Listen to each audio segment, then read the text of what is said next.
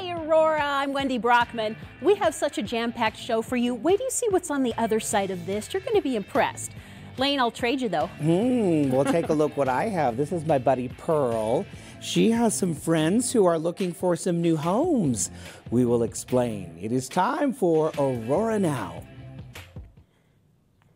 Think about it. What if you got a second chance, a real do over?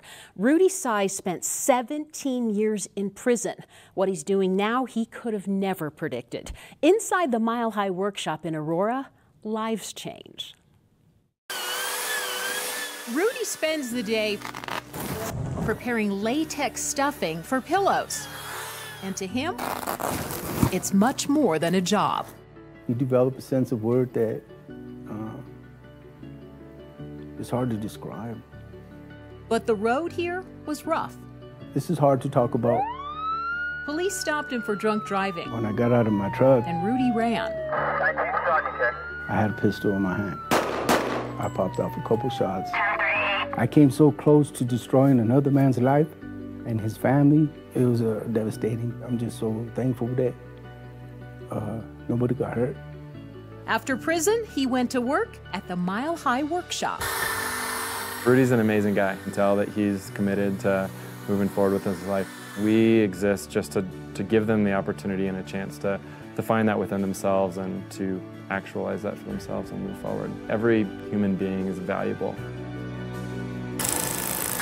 We're manufacturing a lot of products, doing a lot of work for companies. It's not just pillows, woodworking, cute bags made out of recycled paper, scented soy candles, hemp lotion. Big, small, local, international.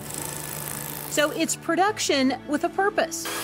People who were homeless, on drugs, or even in prison get a paycheck and job training. Plus, they're part of a community, a family. Oh, gosh. There's no judgment, only support, and the tools to start again. If there's somebody that sees this and, and, and, and would like to uh, put me to work somewhere, man, I'd like to show you what I got to offer. Well, Rudy, you got your wish. We just found out he got a job, an official job. It's a sewing job, and it's what call, he's called a main cutter. Very nice. Sewing pro- yeah, it's mm-hmm. amazing. I'm well so deserved. proud of We him. had such a great time getting a chance to meet Rudy and walk around the Mile High Workshop. We did. The stuff that Andy and his team do, they really are exceeding expectations and really making life-changing memories and moments for these folks. Yes. And now, in case you're wondering why he, we have pillows. Time for a nap. I. We're not taking a nap. Later, we're going to introduce you to a woman named Lindsey, and she's going to help tell the story behind these pillows and why Ooh. they're some of the best. Take it for a they're spin. soft, some of the best in the country. So stay tuned for that. You can't imagine sleeping without one, right? this guy is a top seller. But what's so interesting is that it's made right here in Aurora, and the people who are making them are stitching their lives back together as well. Lindsey Brock had never sewn anything before she came to the Mile High Workshop. In fact, she'd never really had a steady job It's been rough. I'm an emotional person, so it's hard to sit here and talk about, but like the people here are just amazing because there's not many places that will give you a second chance or that believe that people can change. Like Lindsey, employees here have been homeless, in jail, and addicted to drugs. Just because you've messed up, you know, we tell people a lot of times, like, you aren't defined by your worst day, your worst years. Uh, you know, you're, you're alive, you still have a future in front of you. By making real commercial products for all kinds of businesses, they get job training. So that's happening Monday. And support from a staff who care. I feel like I can actually make something of myself as long as I stay on this path. And the pillows sold worldwide. The Washington Post said they were the favorite of 2018.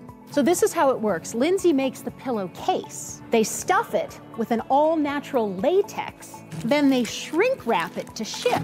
The rest is up to you. We all sleep on really good pillows around here, as you might imagine. oh my gosh, she's yes. so cute. Now Lindsey sleeps better. With a career as a seamstress and a real home for her family finally within reach. I feel like there's hope now, so. it is called the Everpillow by InfiniteMoon. Doesn't that feel yummy? It's amazing. I know. and you know what? They love that they partner with Mile High Workshop. They're calling these actually pillows with a purpose. Yeah, and for good reason too, because it's clear that they're really changing lives, one life at a time, and with people learning all sorts of great new skills. So it's awesome. It is, and I want to show you guys this. Mile High Workshop's executive director, Andy, sent us this. Take a look. Hey, some guys at the shop wanted to make this for you as a way to say congratulations on your new show. Thank you, and did you see how I like? um, yes, here's the awesome artwork. We're going to find a great place to display this It's in our studio. It's- Isn't it cool? It's almost like a cutting board, but it's a little more rough than you know, that. it could be if they stained it. I like yeah, it. Yeah, they have some really skilled workers in their woodworking shop, and we're so happy that they made this Yeah. for us.